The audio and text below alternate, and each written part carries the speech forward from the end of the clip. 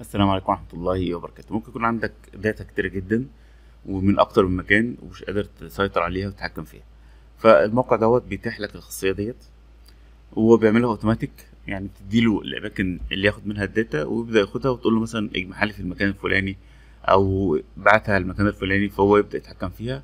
وممكن تخليها تبقى اوتوماتيك يعني يوميا الساعة تلاتة ابدأ خد الخطوة ديت ويبدأ يظهر لي ال data بالشكل دوت. مثلا عندك آه، موقع بتشوف المبيعات من أكتر من مكان فهو يبدأ إن هو يعرض لك ال data بالشكل ده هو بياخد ال data من مواقع كتير جدا ممكن تديله مثلا من ملف إكسل ممكن تديله من موقع أمازون كل موقع يقدر ياخد منها وبعد كده ينظم لك ال data وتقول له مثلا اجمع لي ال- ال- المبيعات اجمع لي المصاريف والحاجات دي كلها فهو ممتاز إن هو بيظبط لك ال data اللي عندك يجمعهم لك. وينظمهم بشكل كويس.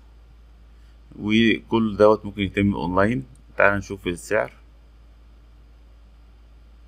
free هيبقى 3 flow ولو انت عايز حاجة advance شوية في بتمانين دولار في الشهر.